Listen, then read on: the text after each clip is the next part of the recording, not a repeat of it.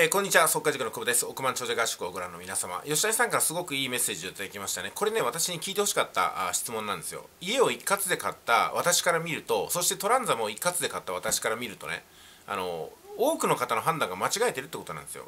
で、吉谷さんは、家を買う人なんてそれじゃいなくなるじゃないかみたいなこと言いましたけどもだからみんな間違えてるんですよ。あのやっぱりね余剰資金でやらないといけないものをローン組んだりとかねましてや30年とか40年の長期ローン組むわけじゃないですか。30年後とか40年後の自分の人生って想像もつかない人。来年のこともわからない人。目の前の仕事すらわかんない人がなんで30年とか40年のローンを組むのか。これはねキャッチコピーに騙されてるんですよ。多くの方はそれにだんだん気づき始めました。だって家を買った人が、ね、逃げ切ることもありますけども大半の人が家を手放さないといけない状況になったり家を買ったがゆえにですね家具が必要になったりねそれからあの、まあ、劣化による修復が必要になったり悲惨な目に遭ってるわけですよ。しかも家があることによって離婚もできない引っ越しもできない転職もできないっていう風な人生の拘束と不満をそこに全て抱えてるわけですよね。賃貸でいいわけですよ。ね、月に5万とか7万とか10万の賃貸溢れてるわけですよ。そういうのから入っていくべきなのになぜかね一国一城の主っていう天才的なキャッチコピーとかそれに乗っかってくる重戦みたいなねお金を低金利で貸しますよみたいなものとかもう完全にやられてるんですよ。うん、だから多くの方は家を買って後悔してるはずなんですよ。だって家のローンなんてない方がいいに決まってるじゃないですか。家を買いました。ローンありません。全ての収入ってのはあ全部ね生活資金に使うことができます。しかも家のローンがないってことは何を意味するかっていうといつでも家を手放せる状態にあるってことなんですよ、うん、だからねあの私はね家を買う人ってのは全員騙されてると思いますよ。だって一括で買えない人まあもしくは一括じゃなくても3年以内に返済できるぐらいが限度じゃないかなと思うんですよ。それがですねやっぱりね2年とか5年とか10年とかのローンってきついですよ。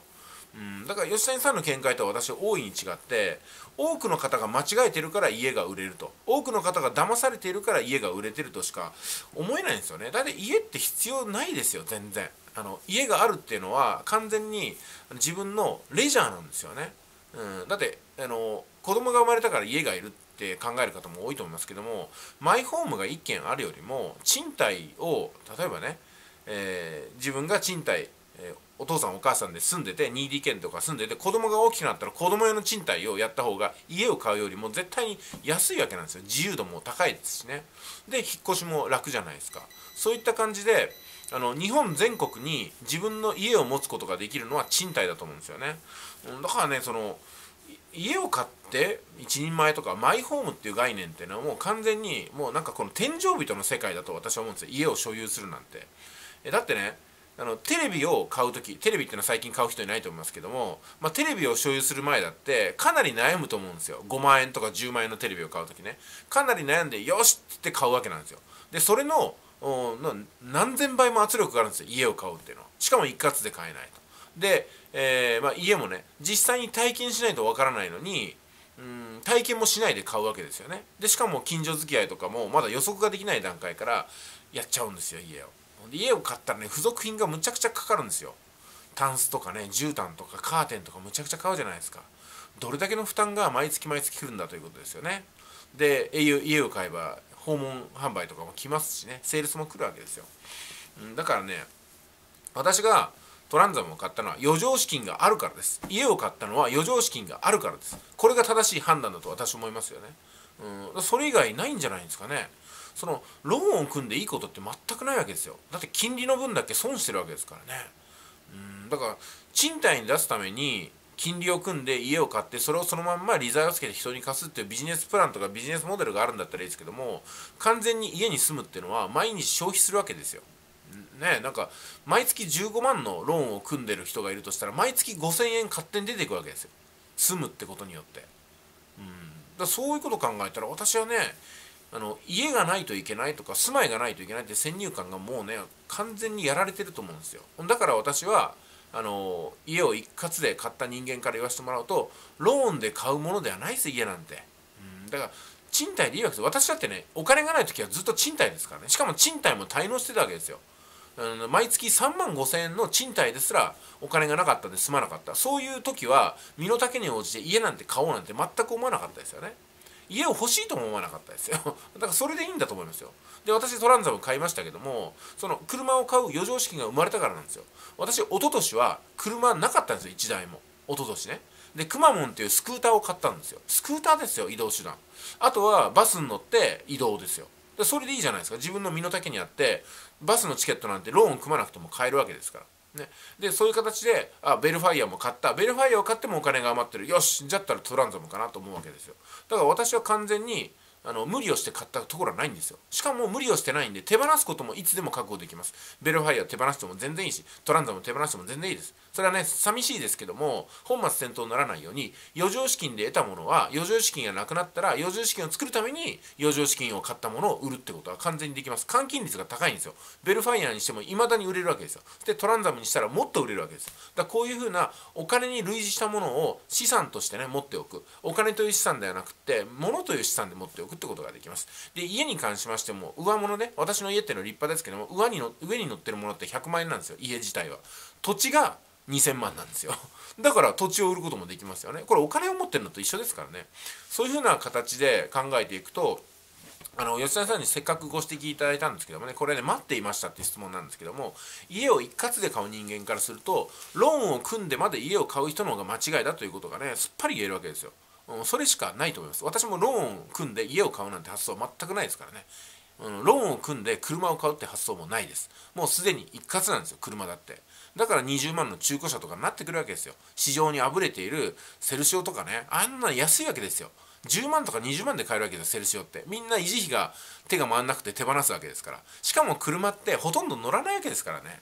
乗らない乗る乗るにしても1人で乗るわけですよ大体。そんな無駄なものね8割ぐらい稼働してないただ置いとくものになんでそんな大金かけるんですかってことです。完全に車を余剰資金で買うものであって単なる移動手段だったらタクシーをその都度呼んだ方が安いですしどうしても車を所有しなきゃいけないんでしたらローンを組まずに10万円ぐらいのね中古車を買ってそれを修理しながら2年間乗ればいいんじゃないかなと思いますけどもね、うん、でドリームアカデミアですか。だからドリームアカデミアもねこれ買う人にあの、もうなんかね言いたいんですけどもビジネスしたいわけですよ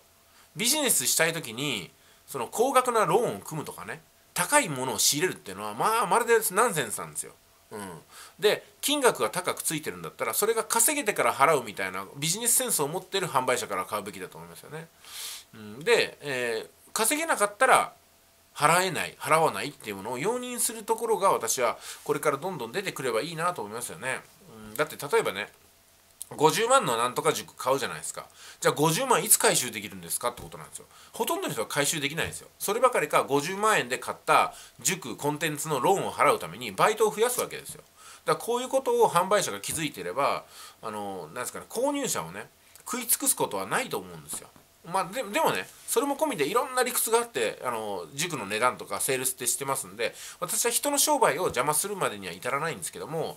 あの消費者のことを考えたら消費者がビジネスマンになるってことを考えたらねビジネスマンとしては仕入れは安くしないといけないんですよ。仕入れはね。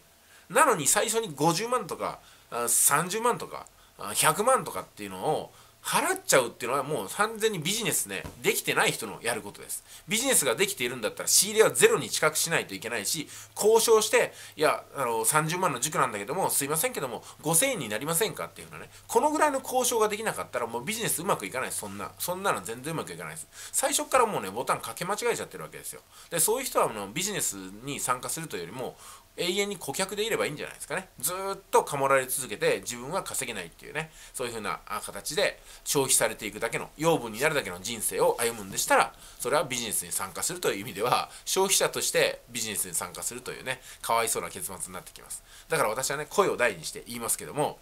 ビジネスを志すんだったら仕入れは常にゼロで言ってください。ゼロで。もしくは300円とかね500円とか。じゃなかったらうまくいかないですよ。だって稼げてない人がさらに大きな出費するわけですよ。もっと稼ぎにくいですよ。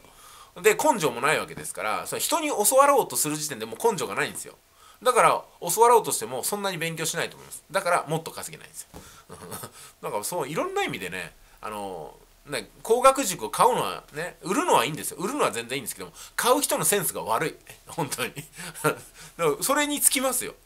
なんで稼げない人がそんな高いもの買ってるのとか思いますよね。いやもう本当にねあのこれ聞いて腹が立つ人もいると思いますけどもあの自分が商品を買うとか大きなお金を投じるってことはもっと真面目に考えた方がいいと思いますよね。じゃないと億万長者にはなれません。ね億万長者になれないですよ。いや気をつけた方がいいですよその辺は。高いものを買えばいいと思ったらもう大間違いですよ。なるべく仕入れは引き下げるべき努力をしないとダメです。だからどんな塾を買うにしてもねまずは塾の販売者さんに値下げを要求してください。その値下げが1万円でも2万円でもできないんだったらもう稼ぐセンスはあなたにはないんですよ。永遠に稼げない。永遠に稼げないです。1万円2万円の値引きすらできない人にお金は稼げません。以上です。